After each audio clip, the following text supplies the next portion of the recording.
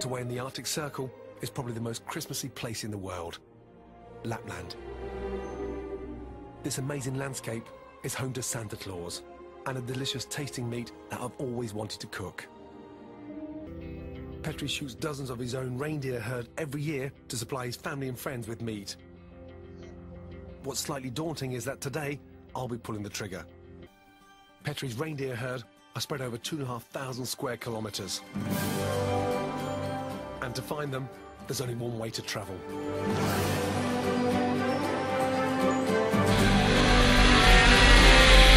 Oh shit!